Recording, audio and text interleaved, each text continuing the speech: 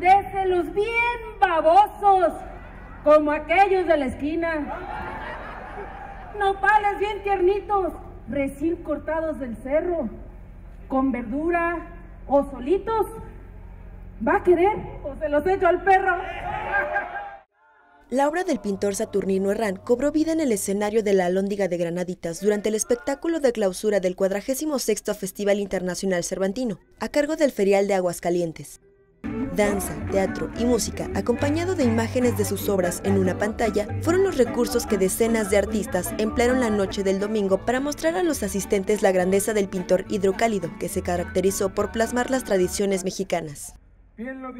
Así, el baile entre las musas, que fueron motivo de inspiración de sus obras, fue una constante en la presentación, las cuales giraron en torno a los caballetes en donde Herrán, amigo inseparable de Ramón López Velarde y Manuel M. Ponce, las pintaba hace más de un siglo.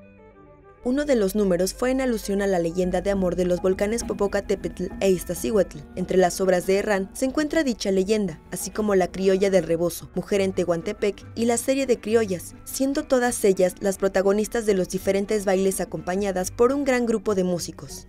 La pintura nacionalista de Saturnino Herrán, considerado precursor del muralismo, también se mostró a través de danzas de los aztecas, luego otra de conquistadores y frailes, y finalmente una mezcla de los originarios de ambas tierras, en referencia al origen de los criollos.